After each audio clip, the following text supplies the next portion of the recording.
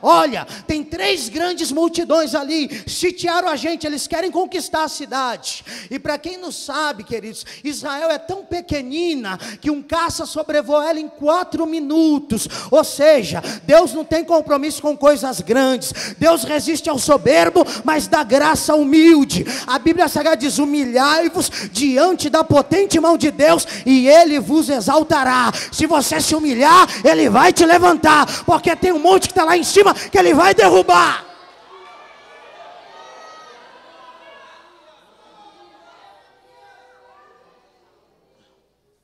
Corre o atalaia, o rei Josafá, homem de Deus, ei, homem e mulher de Deus, no dia da adversidade, ele não entrega, ele não joga a toalha dizendo desisto, não, ele vai para buscar a face do Senhor. Quando ele recebe a má notícia, ele ajunta todo o arraial e falei: vamos buscar ao Senhor, todo mundo prostrado em oração. E o interessante é que havia um menino que não se vê hoje muito dentro das igrejas com o mesmo propósito daquele menino, ele era um dos levitas, da, filho de Assás, da tribo de Assás Asaf, que era o pai dos ministros de adoração, chamado Jaaziel. Ele estava no meio daquele ajuntamento, mas no coração dele ele tinha um propósito. Ele, oxalá, se o Deus de Israel me quiser levantar como profeta e me usar, eu já sou levita adorador, mas eu quero ser usado também na palavra profética. Eu quero ser boca de Deus na terra. Ele começa a orar, e o mesmo Espírito que estava lá está aqui nesta noite, para esquadrinhar o teu coração, para esquadrinhar o teu pedido e para te dar a tua petição.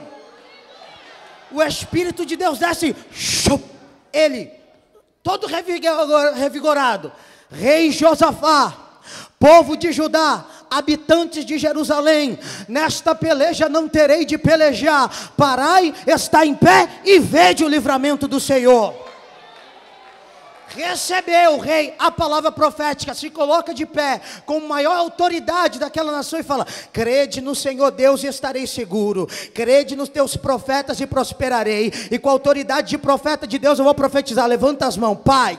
Toda ferramenta preparada do inimigo contra estas vidas, que caia por terra, e toda língua aqueles que se levantar, que eles a julguem, porque esta é a tua promessa, Senhor. Recebe o livramento de Deus.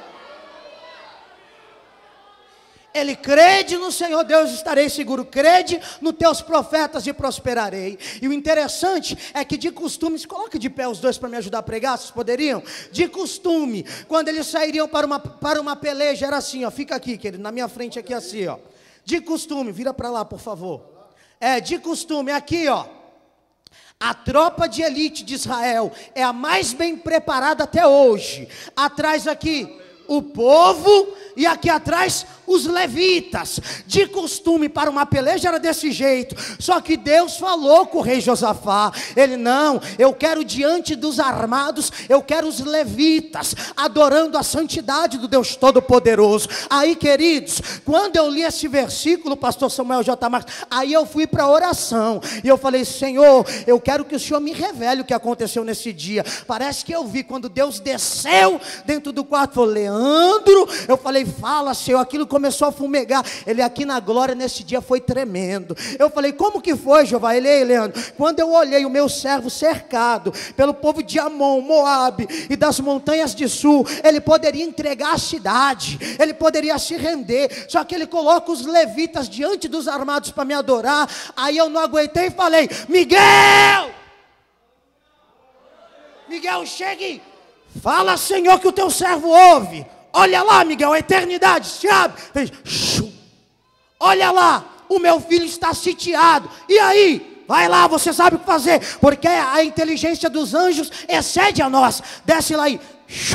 Povo de Amon, Moabe e das montanhas de sul. Ele me disse que ele só desembanhou a espada e assim no soldado de Amon, deu um toque e voltou para agora.